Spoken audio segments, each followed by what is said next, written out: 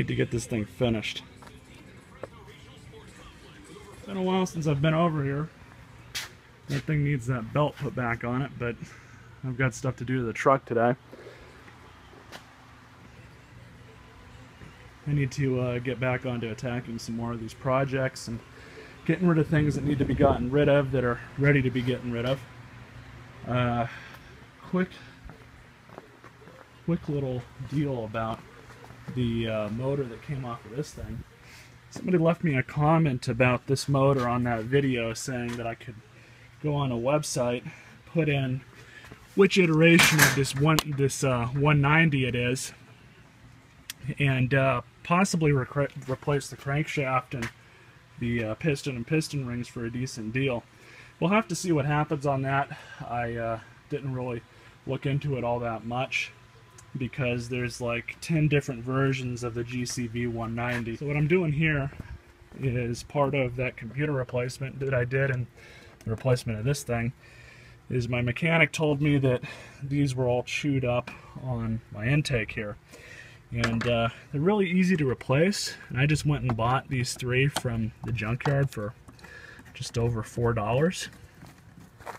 All my oil change stuff is at the house namely my pan drain pan so I'm just gonna do that at the house and be done with it probably hit these next weekend my rear brake shoes my dad also got from one of his uh, radio deals because he does ham radio stuff.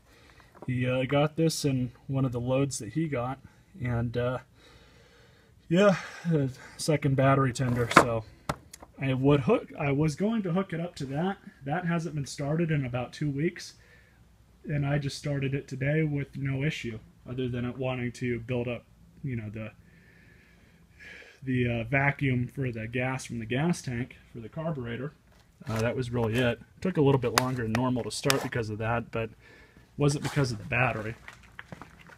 Well, back at the house now. I have to update you guys on this saw that I bought recently. It was 60 bucks at local hardware store. I had some fuel in it, but it appears that it leaked out. Um, but it's a 16 inch Poulan, 38cc P3816. It's not the best saw in the world. Uh, there's a lot of negative reviews on it.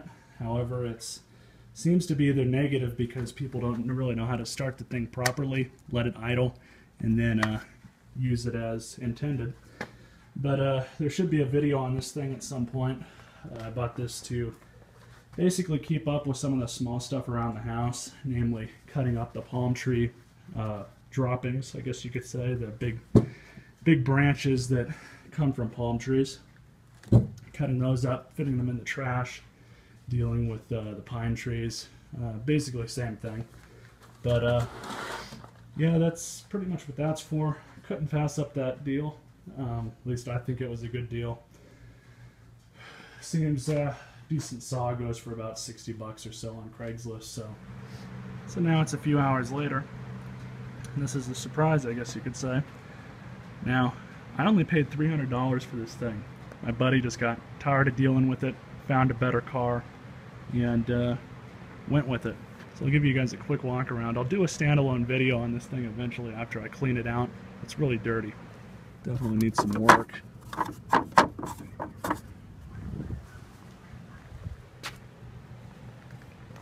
Got new rear tires, decent front tires.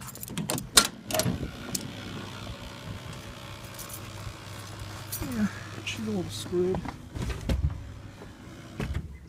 this thing doesn't really work and he's got it locked all the way back just so it'll actually function for the intended purpose. Uh, it's dirty. The guy smokes, so there's cigarette packs everywhere. Uh, it needs a good thorough cleaning.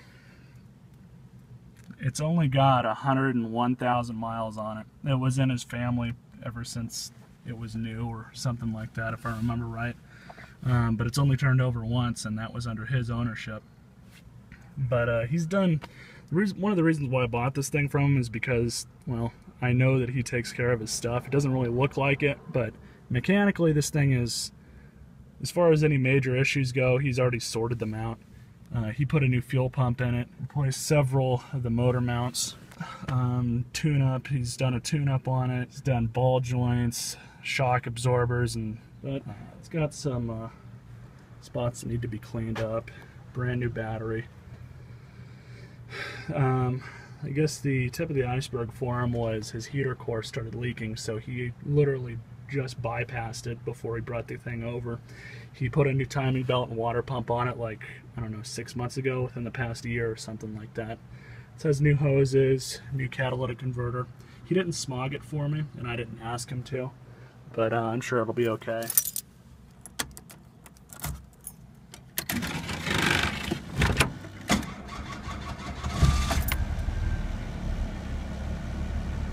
Said he thought that the starter was starting to go out. And I know his battery light comes on and off like that. The thing runs pretty damn good. It's just dirty as dirty as all hell. It's got this part up here, this clock, but you can't even adjust it apparently. Apparently the buttons don't work and these are for the lights, which he's got no bulbs in. But uh, this sensor actually doesn't work. Um, he's going to take his stereo out and swap it in with another one from the car he just bought, which I will have a video on that because it's a 2000 uh, Crown Vic Police Interceptor. But there's two ideas that I had with this thing. Either one, basically just drive it, drive it until it blows up. It's a hatchback. As you guys can see, the rear seats fold down all the way flat. So this would make a good little garbage hauler that doesn't get 14 to the gallon like that does. Or B, 24 hours of LeMons. Me and a buddy of mine were talking about that. And uh, this would be like a perfect car to do that in. If you guys don't know what that is, I put a link uh, down below so you guys can look it up. But it's basically this, you, you buy a shitbox car and you race it and you have to spend a certain amount of have to not spend over a certain amount of money in order to uh, go through with it. Basically you have to uh, put a roll cage in it. Um, obviously I'd be doing some weight strippage but uh, that was an idea that we had to do. So we'll see what happens. You never know